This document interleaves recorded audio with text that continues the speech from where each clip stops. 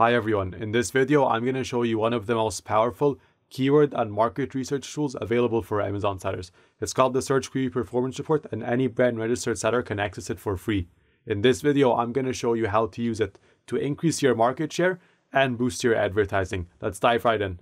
Alright, so the first thing you're going to need to know is where to actually find the Search Query Performance Report.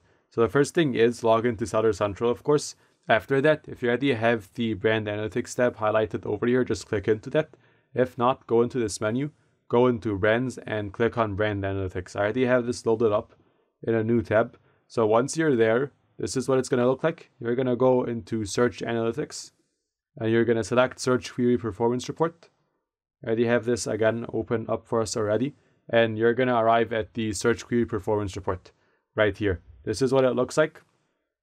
Basically, the way this works is it will show you the search terms that you're currently showing up for. It will show you the volume that these search terms get in terms of like searches per month. It will show you total clicks they get, the total impressions they get, the total add to carts they get, and also the total purchases they get. Then it shows you your share of these purchases, add to carts, clicks, and impressions. So it's pretty comprehensive. You can look at this on a brand view or on an ASIN view. So you can either do it for your entire brand you just select your reporting range over here. You have weekly, monthly, and quarterly. And you can specify the specific time period that you want to see. Or you can go into ASIN view, select the ASIN that you want. Right, so I'm just going to go in and we'll select one right now. Right, so I just picked this one. I just picked monthly. I picked 2024. And I want to look at April. Right, then it will load in the search queries for me. So for the ASIN view, you usually have a maximum of 100 search queries, and then for brand view, you can have up to 1000. Right? This covers performance from both organic and sponsored ads, clicks, impressions, and everything else. This is pretty comprehensive, and it gives you a good idea of how you're performing. Okay, and where this gets interesting is that you can compare your brand share for each given metric with another metric, and you can compare it to how the market is performing. So over here, for example, I can see that we are getting 5% of all of the impressions, right? And 7% of clicks. So my brand share on clicks is higher than my brand share on impressions, which means that my click-through rate is above the market average, right? Because I'm getting 5% of impressions, I'm getting 7.5% of clicks. So that means that for each impression I get, I'm getting more clicks than all of the other products that are out there on average. After that, my add to cart rate is even higher. So I'm getting an 8.66% add to cart rate. That means my conversion rate of click to add to cart is again higher than what the market is getting. So that means I'm performing better than average. Right?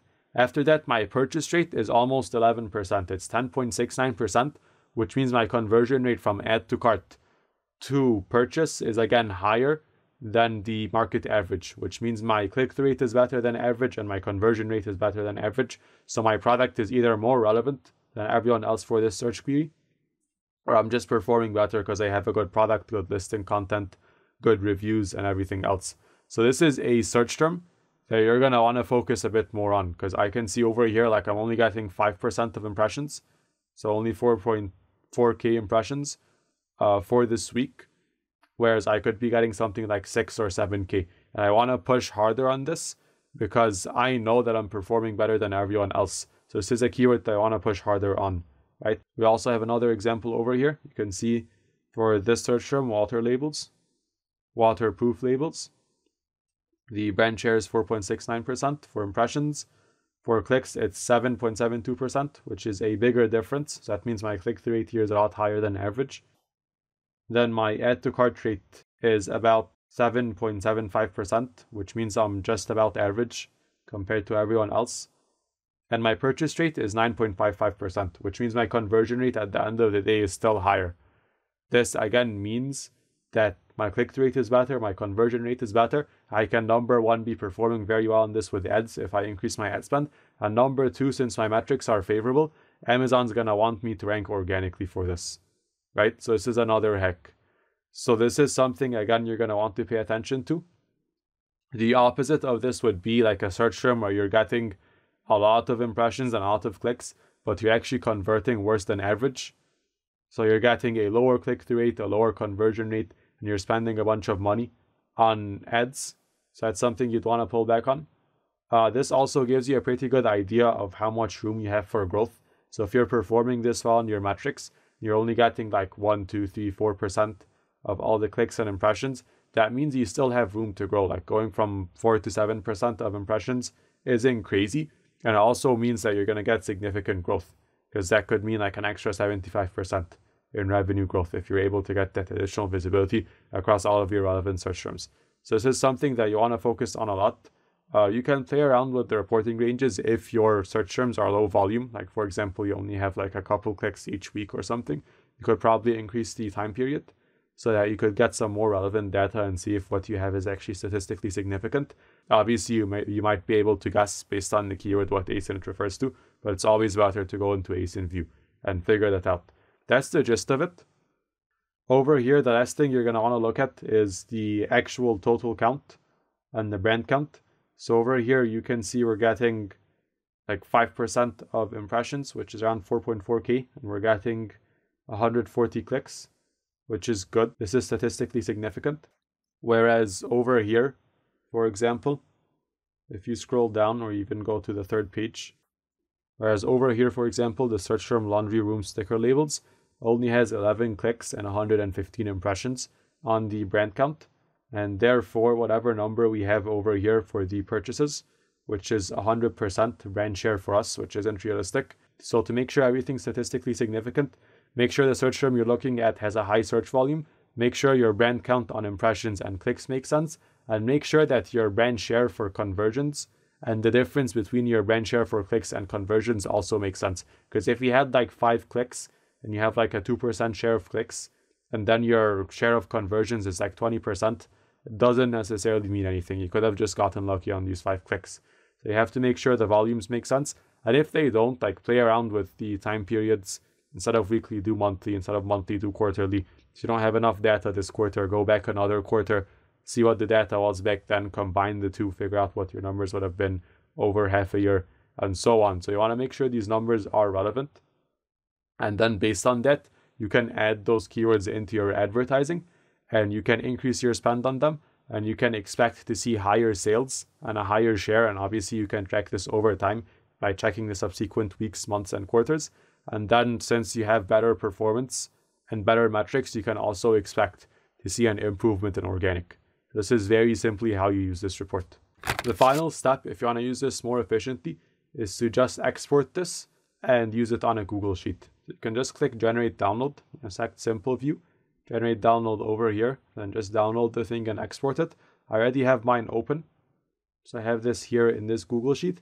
I already did some cleanup. You're to find some metrics that aren't there on the uh, web page view. So you're to find like the average price uh, for each click, the average price for each add to cart, and a bunch of other metrics. I just delete these for now because this doesn't affect our keyword research and I'm left with the same exact metrics that are on Amazon right? So anything extra, you just delete it up front. After that, I generally just go through all of these and I add a filter. And you want to filter anything that is low volume. So I'm going to go to clicks brand count and then condition. Scroll down. Less than. This depends on the time period I have weekly. So I'm going to say less than 25. Hit OK and you can just go and select all and delete. For you, I probably recommend doing monthly or quarterly. This is just like an example sheet. Uh, and you could do less than like 30, 40, 50, and then just delete all, right? And then you only keep the things that are high volume. We have quite a few over here, so it might take a second to scroll through this. So I'm just going to speed it up for you. I'll meet you guys at the end.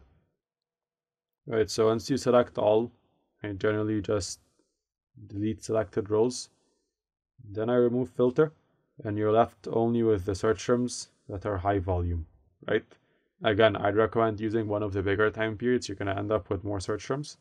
But for the weekly, this is what we have. We have around 26 different search terms. After that, you want to go in with some if statements so you can find out which ones have a better click through rate and conversion rate than the market average. For the if statements, you're just going to make these based on the brand share of impressions and clicks, and then the brand share of clicks and purchases. So what I do is I go to brand share clicks and I just create a column to the right. So over here, I already have mine ready. So if J3 is greater than F3, with J3 being my brand share for clicks and F3 being my brand share for impressions, then I'm going to say true, right? And if it's not, I'm going to say false. So over here, if this says true, that means that I have a better click-through rate than average. If it says false, I have a worse click-through rate than average. You can just take this and you can copy paste this across everything and you'll quickly find which ones have a better click-through rate than average. You can then just take this and do the same exact process for uh, purchases, brand share, and then you can compare that to clicks brand share. Right, so you can just create a column here to the right, and I'm just gonna add this in, and I'm gonna say if S3